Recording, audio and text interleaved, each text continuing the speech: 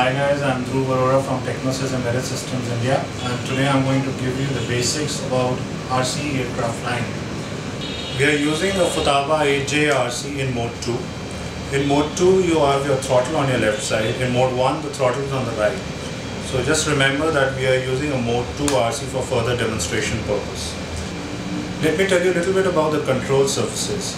These are your ailerons, this is your elevator, this is your rudder, this one, and this is your which is used for the gaining and the reduction of the speed. So when you go left on your aileron, it will basically roll like this. When you go right, it will like this.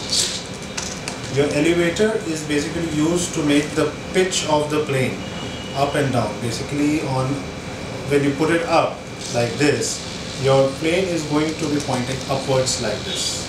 And when you go down, it is going to point downwards. The rudder is basically used for making the plane turn left and right like this for yaw. This is used for yaw. And throttle of course as you all know is for the speed, controlling the speed of the propeller for gaining the speed or maybe reducing the speed. I always recommend that you give extra protection to your foamy hinges which is this part of your ailerons or your elevators or your rudder. So I always prefer having a fiber tape like this and also have a nylon hinge here. So this gives us more protection to the whole foamy hinge which I think is the right way to go. I will come on a very important topic which most of the RC plane flyers they miss on it. That is the resolution of the servos. The resolution of the servo should always be 100% which means that as far as the servo can travel, the control surface also travels the same amount, which means that there is going to be a 100% connection between the control surface and the servo. This can be adjusted by you know adjusting your linkages and all these things.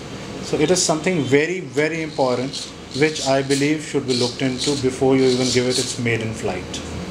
Let me tell you a little bit about the CG of plane. CG of plane is basically a very important concept. It is the point where your plane is at a neutral balance point. It stands for center of gravity. So in case you have the CG is far forward, the plane will be nose heavy. And what will happen is that it will be difficult to take off. It will be something like this if you're just nose heavy, you know. It is going to be very difficult to take off and land the aircraft. In case the CG of your plane is tail heavy, it will make it difficult to fly in slow speed speeds, something like this.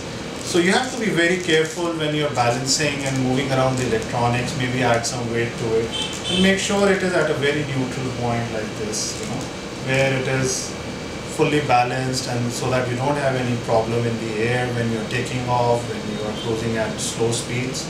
I would really recommend to look into the CG of the plane. It's very, very, very important.